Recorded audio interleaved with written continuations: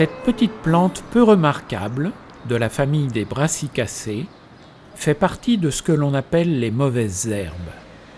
Sa floraison très discrète, ses petites feuilles étroites, sa taille assez modeste, pas plus de 50 cm, son port dressé, léger et un peu raide, n'attire pas vraiment l'attention.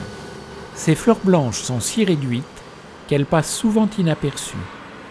Et c'est lorsque les petits fruits ronds et plats se développent qu'elle devient un peu plus visible. Espèce annuelle ou bisannuelle, suivant l'endroit où elle pousse et le moment de sa germination, l'épidium virginicum, appelé communément passerage de Virginie, est originaire d'Amérique du Nord. Au XVIIIe siècle, le botaniste suédois Carl Linné reçut d'un correspondant un exemplaire sec récolté outre-Atlantique en Virginie. Il conclut que cette herbe nouvelle appartenait à un genre connu depuis longtemps en Europe.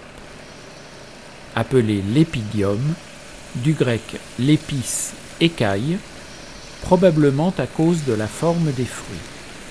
Il conserva ce nom et lui adjoint l'épithète virginicum pour former le nom scientifique de l'espèce et le publia dans son ouvrage Species Plantarum en 1753. En France, le passerage de Virginie semble être arrivé vers le début du XIXe siècle. Il est mentionné pour la première fois en 1848 autour de Bayonne dans la Flore de France de Grenier et Gaudron. Depuis cet ancrage pyrénéen, il s'est disséminé un peu partout dans le pays. Il est aujourd'hui largement naturalisé en Europe.